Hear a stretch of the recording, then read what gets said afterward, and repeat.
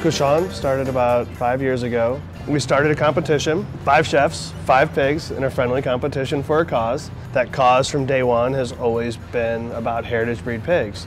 I, th I, think it's important to consume heritage breed pigs just because each one has its own unique qualities to them, you know, in terms of, uh, flavor and, you know, fat content, as opposed to these mass-produced pigs that are bred just to be bulky and, and, you know, produce, you know, large pork chops. What's interesting to me um, is that you, in order to save these breeds, in order to, see, you have to eat them. It's kind of like this thing where the way to kind of keep these breeds um, actively being a part of the food conversation is that there has to be a demand in those restaurants. The heritage breed pig conversation, um, it was just this niche conversation that wasn't taking place between Berkshire or Kurobuta. So you have an amazing group of chefs that were all just on the up and coming, doing amazing stuff in the kitchen, um, young, passionate, energy levels were high, local sourcing became a conversation. People really cared about where their food was coming from, and there was there was an opportunity to, to, to bring it to the forefront. I give a chef seven to ten days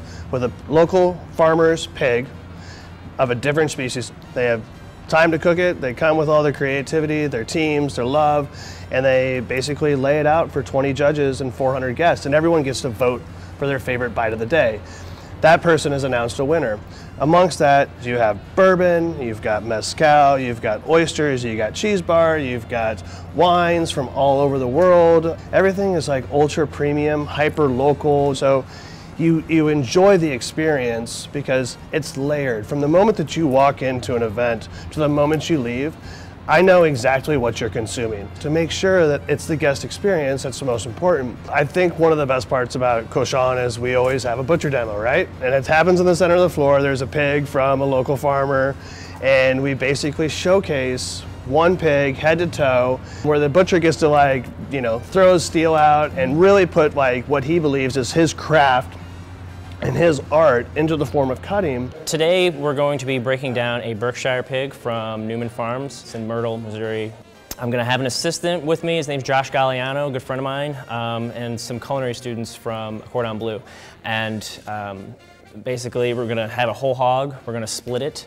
Um, and break it down into primals, and then from there, break it down to retail cuts. I've, I've, seen you have a PDF file that you basically are going to be sending out to these schools, and they can take everything that you've laid out, it guides them through creating these pop-up butcher shops so they can then go and sell these products. I mean, you you be, you created benefit on so many different levels, kind of throughout that that food chain in you know in the industry. Is that really kind of what you were going for? The idea was to to take the idea of the pop-up butcher shop wrap it into a really tight little curriculum. The students then can look at this pop-up butcher shop PDF. They look at the Cochon 555 website. We can help source a pig, and then all they need is a butcher. They just walk into the butcher shop and they give them the little PDF and they say, hey, would you be able to do this with us? And he reads through it and he goes, for sure. Because all the butcher has to do is show up and the students have learned through the program how to get the pig there, danger zones, comfort levels with guests, conversations, how to make money, and every single detail is covered. For, for the students, I mean, it's, it's good to see that, you know, because it'll be a good way for them to see how to utilize the entire pig, you know, from, from start to finish and, you know, how, how you can sell different parts of the pig, not just like the chops, you know, and, and you know, the things that everybody's really familiar with.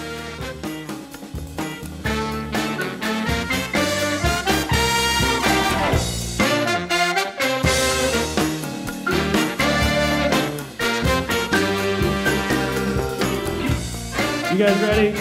Tonight's winner, Heritage Barbecue, St. Louis, goes to Kevin Nashan of Sidney Street Cafe. Well done. Everyone on this stage has blown it away because you believe.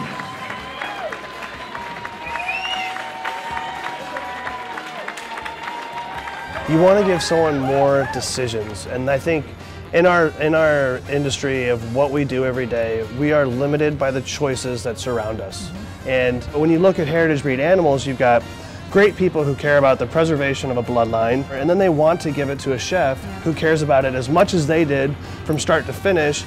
and then it ends up on somebody's plates. It's really a carriage of, you know, of love between, you know, little baby pig to, to the plate.